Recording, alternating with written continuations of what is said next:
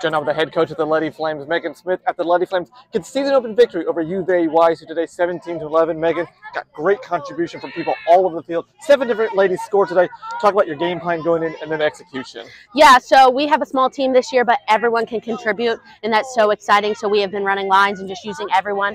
Um, all both sides of the field have been great. Kenna um, on attack, she had I think it was three three goals, four assists, something like that. Um, she absolutely killed it, and just every single person coming off the bench really bought into the game plan and just did amazing.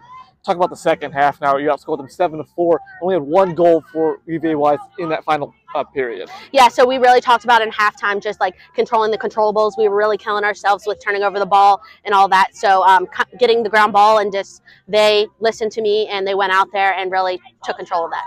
Now we got a short week back midweek against Rollins College.